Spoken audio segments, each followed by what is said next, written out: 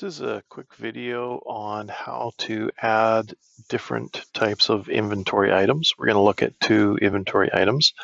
Uh, the first is a simple fixed um, price item and the other is a variable priced item. So from your dashboard, now you can also do this on your device.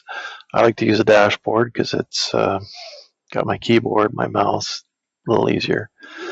Uh, so if I go to the inventory tab on my dashboard,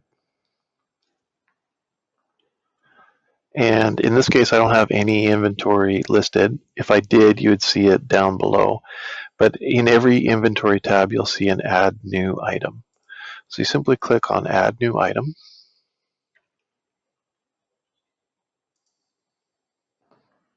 And here you're going to give it a name. So in this case, we're going to call it test item fixed. You can have an alternate name, which is great if you want to search for different things. Uh, if you had another name that you wanted to call it by, or something that's also known as, uh, for staff to look up, um, they could search either term. In this case, we're also going to show in register, so that means we want it to show up on the screen. It is a revenue item, so we're going to leave it unchecked for non-revenue. We're going to set the price at $10 and we're going to leave the price as fixed. From here you can also add stock quantity if you so choose and you can also assign categories. Now if you don't have any categories yet you can go to the categories tab and add them first or you can actually add a category right from here. So I'm going to create a category called test items.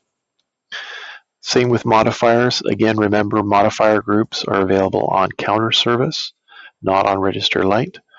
Labels are great if you're having to track something uh, according to a particular revenue class, or if you have a kitchen printer set up or another printer set up where you need uh, that to go to.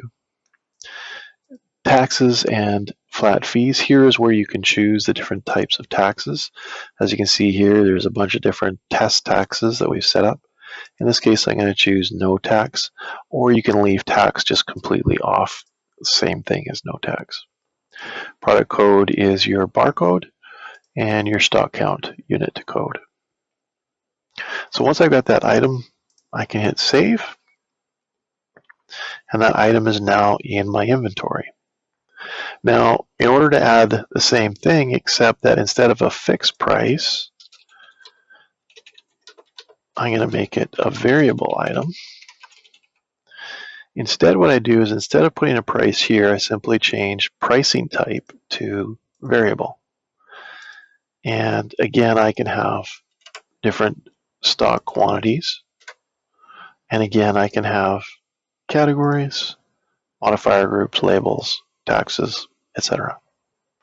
So when I hit save on this item, now what happens is when I choose this particular item on my Clover device and create an order, it will then, because it's set as a variable, will then ask me for a value.